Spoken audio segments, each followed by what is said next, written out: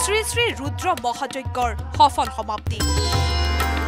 পূৰ্ণ আহুতিৰে সফল সামৰণি ৰুদ্ৰ মহাযজ্ঞৰ। আঠ দিনৰ অন্তত সোমবাৰে সামৰণি পৰিল শ্ৰী শ্ৰী ৰুদ্ৰ মহাযজ্ঞ আৰু কামেশ্বৰী মহা আৰাধনা অনুষ্ঠানৰ।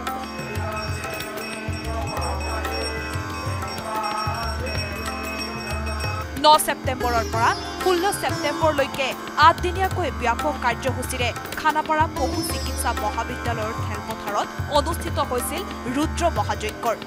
এই মহা আয়োজনৰ মূল আকৰ্ষণ হিচাপে উপস্থিত আছিল জগতগুৰু শংকৰাচাৰ্য স্বামী শ্ৰী অধ্যক্ষ জানন্দ দেৱতীৰ্থজী মহাৰাজ। জগতগুৰু শংকৰাচাৰ্যৰ উপস্থিতিত পূৰ্ণ আহুতি অনুষ্ঠানত অংশগ্ৰহণ কৰে উত্তৰ পূবৰ মহিলা উদ্যোগী ৰিণিকী ভূঞা শৰ্মা অসম বিধানসভাৰ অধ্যক্ষ বিশ্বজিৎ দৈমাৰী মন্ত্ৰী জয়ন্ত মল্ল বৰুৱা বিধায়ক মানৱ ডেকাকে আদি কৰি কেইবাগৰাকী বিশিষ্ট লোক।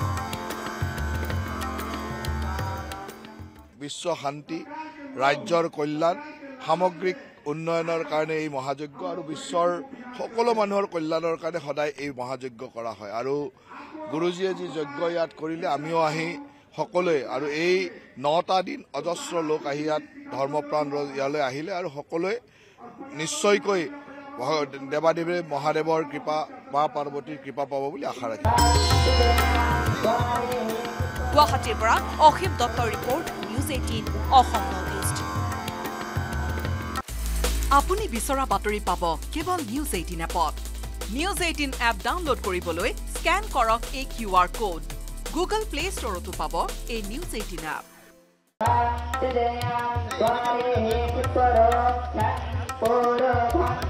Shri Shri Rudra মহাযজ্ঞৰ সফল সমাপ্তি। পূৰ্ণ আহুতিৰে সফল সামৰণি ৰুদ্ৰ মহাযজ্ঞৰ।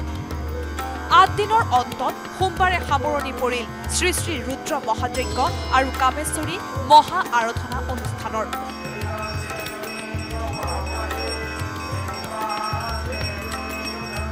ন ছেপ্টেম্বৰৰ পৰা ষোল্ল ছেপ্টেম্বৰলৈকে আঠদিনীয়াকৈ ব্যাপক কাৰ্যসূচীৰে খানাপাৰা পশু চিকিৎসা মহাবিদ্যালয়ৰ খেলপথাৰত অনুষ্ঠিত হৈছিল ৰুদ্ৰ মহাযজ্ঞৰ। এই মহা আয়োজনৰ মূল আকৰ্ষণ হিচাপে উপস্থিত আছিল জগতগুৰু শংকৰাচাৰ্য স্বামী শ্ৰী অধ্যক্ষ জানন্দ দেৱতীৰ্থজী মহাৰাজ।